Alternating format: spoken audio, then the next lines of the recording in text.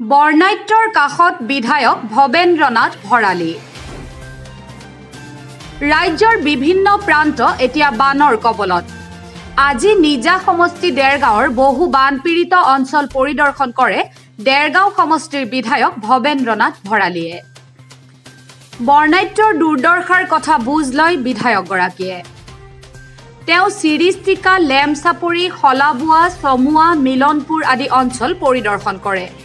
পৰিদৰ্শন কালত বিধায়কগৰাকীক সংগ দিয়ে ডেৰগাঁও ৰাজহ চক্ৰ বিষয়া উৎপল ডেকা মনীষ ভৰালী ৰাজহ চক্ৰ বিষয়া সংলগ্ন ডেৰগাঁও বাবুল হাতী বৰুৱা পবিত্ৰ ভূঞা ৰঞ্জিত ৰিংকু বৰা আলাউদ্দিন চুলতান নিত্যেন ঠাকুৰ ধৰ্মেন্দ্ৰ হাজৰিকা হেমকান্ত পাছুং ৰাণা প্ৰতাপ ভূঞা বিক্ৰম দাস আৰু মহম্মদ আবদুল্লা ছিদ্দিকীয়ে বিধায়কজনে বৰ্ণাঢ্যৰ অভাৱ অভিযোগৰ লগতে বিশেষকৈ বিশুদ্ধ খোৱা পানী আৰু পশুধনৰ খাদ্য যোগাৰত অধিক গুৰুত্ব প্ৰদান কৰা দেখা গ'ল।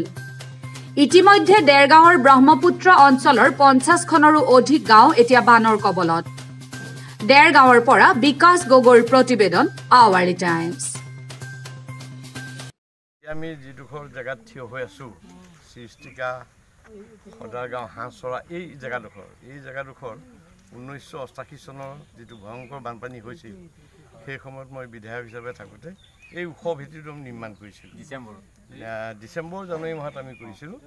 এই এই ওখ ভেটিটোৰ এতিয়া ৰাইজে আশ্ৰয় লৈছে আৰু গৰু ম'হ ছাগলী আটাইখিনি ইয়াত যথেষ্ট ইয়াত ৰাখিব পৰা হৈছে। এই ওখ ভেটি আচলতে আৰ পি এফ এই বস্তু নিৰ্মাণ কৰিব লাগে। আমি ইতিমধ্যে কেইবাটাও নিৰ্মাণ কৰাৰ সিদ্ধান্ত লৈছোঁ। বানপানীৰ সময়ত ৰাইজক যথেষ্ট সকাহ দিয়ে।